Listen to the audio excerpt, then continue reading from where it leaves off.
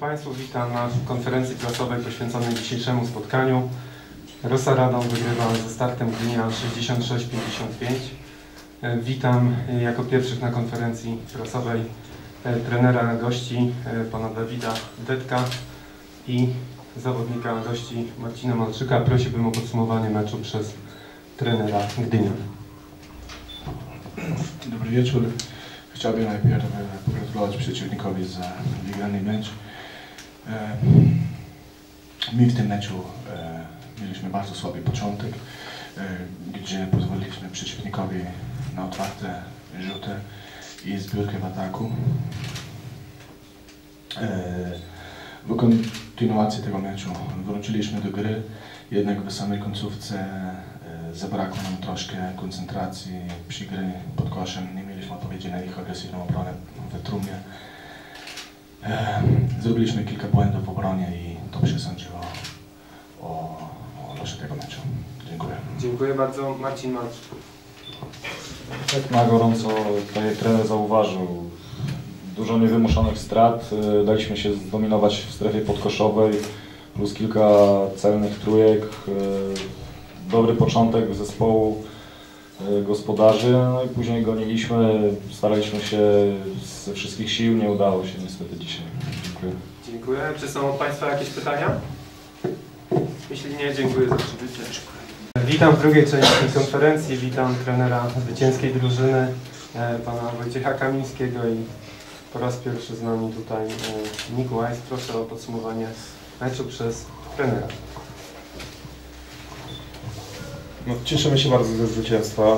E, Bardzo dobrze weszliśmy w mecz, natomiast no, później e, drużyna z Gdyni zagrała e, bardzo mądrze i konsekwentnie i gratulacje dla, dla, dla startu, bo znaleźli sposób, żeby nas zatrzymać i nie dać nam się rozpędzić.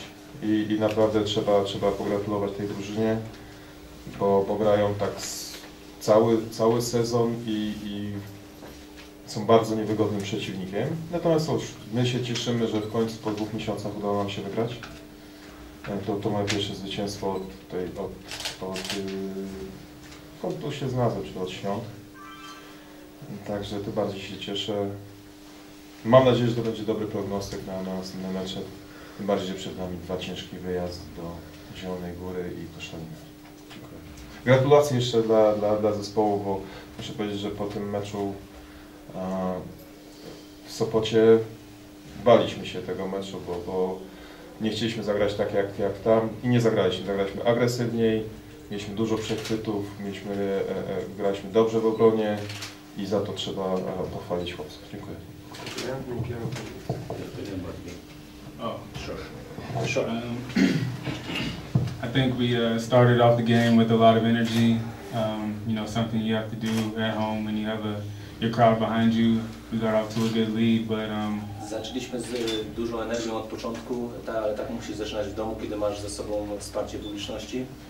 uh, when, when we have a big lead, we have to learn to keep it, and uh, that's something we're not doing right now. So, um, you know, hopefully in these next couple of weeks in practice, we have a weekend off, and we can learn to, to close teams out when we have a big lead. Y, Kiedy mamy duże prowadzenie, musimy nauczyć się je utrzymywać. Teraz będziemy mieli e, dwa tygodnie przerwy i będzie nad czym pracować na treningach. E, Czy są od Państwa jakieś pytania? Tak. Do Proszę. tego wstępie, radomsport.pl. Pytanie do Nika może takie, e, widać, że chyba coraz lepiej czuje się w Radomiu i w zespole. Uh, we can see that you feel much better in the team and uh, yes, the, the first couple games I just wanted to fit in with the players and learn the system. Um, you know, but I told myself this week I'd be more aggressive and play my game. Um, I know the team and the coach didn't bring me here just to, you know, be passive. You know, we need to win games, so uh, that's the way we're going to play from here on out. na, na początku próbowałem tutaj się wczuć w drużynę, poznać kolegów, ale trener nie, nie, nie sprowadził mnie tutaj, żeby być tylko i grać pasywnie, ale tutaj, żeby pomagać zespołowi wygrywać mecze. Odnalazły się bagaże. Did you find your luggage? Ale on nie zgubił, nie ten, Nie? Rondo zgubił. No, Ale, ale podobno że przyjechał z Poderka. A, to nie jest to chyba szac. Już jest, już jest okej, tak? Już... Tak, już jest okej. Dobrze, to pytanie do trenera. Yy, Nam wykończy. Szło bardzo ciężko, ale chyba Pan tak, taki spokojny był, bo y, dysponował Pan dużą, dużą liczbą y, przerw, a a tymczasem nie, nie, nie poprosił Pan o żaden time-out w końcówce meczu. Jeszcze mówię o- przed tym przełamaniem takim. Tam na, Znaczy, praktycznie te 5 minut przed końcem, a, zaraz zobaczymy. E, nie, no nie, nie tak. Trzy punkty było. No wiadomo, oni cały czas gonili. E, Cały tydzień ćwiczyliśmy e, e, rozbijanie, bo wiedziałem, że będą kryli e, strefą. I cały tydzień ćwiczyliśmy. No jeżeli no, nie idzie, no to, to, to, to tutaj ja stwierdziłem, że lepiej te czasy zatrzymać sobie właśnie gdzieś na, na końcówkę. Poza tym no, ja nie jestem nie jestem taki impulsywny, żeby po każdym niepowodzeniu brać czas. Bo, bo nie było takiej serii.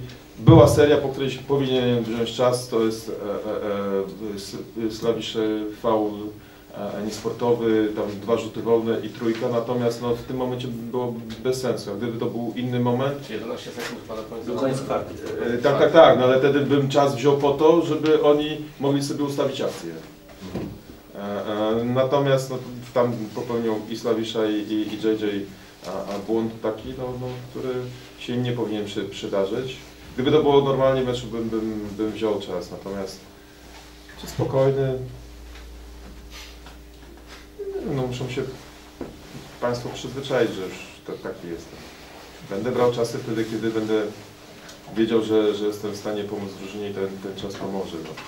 Na pewno po meczu z Aseko miałem do siebie pretensje o to, że, że po, po porzucie koszarka nie wziąłem czas, czasu i, i nie zrobiłem zmiany. Natomiast no, mówię, to są... Nie ma ludzi, którzy nie popełniają błędów. No jakbym wziął czas i, i byłby, byłby, byłaby strata, to, to wtedy też byłby błąd, że wziąłem czas, a jeszcze było minut, minuta do końca, także... E, natomiast no, cieszę się że, ze zwycięstwa i nie, nie myślę o czasach. A co się z JJ-em, panie trenerze, dzieje? Bo ostatnie występy, no raz, że gra krótko, a dwa, że gra słabo. Znaczy, przepisy są nieubłagane i y, na boisku muszą być y, dwaj Polacy, a mamy sześciu obcokrajowców.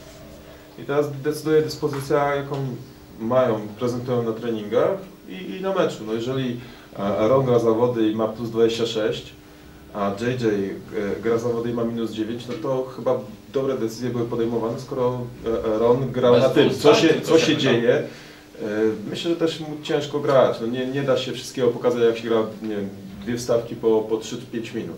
Poza tym Ron, JJ nie jest zawodnikiem dobrze czującym się w grze na strefę. Nie wiem, może no dzisiaj się źle czuł. Może w następnym meczu będzie podejmował troszkę lepsze decyzje. Natomiast no, tak jak powiedziałem, no tutaj mamy Nika, którego e, e, jest prawdziwą jedynką. Sprowadziliśmy tutaj, żeby był podstawowym zawodnikiem. Świetne zawody dzisiaj grał Kim, e, więc no oni we dwóch zabierali mnóstwo minut, te, te minuty i Ron. I to teraz no, nie, nie, nie, nie stworzę, nie, nie dodam tych minut, jest ich 200 i po prostu jak ma się sześciu obcokrajowców, to się wybiera tych, którzy w tym momencie grają najlepiej. Dziękuję. Dziękuję. Czy są od Państwa jeszcze jakieś pytania? Jeśli nie, dziękuję za przybycie.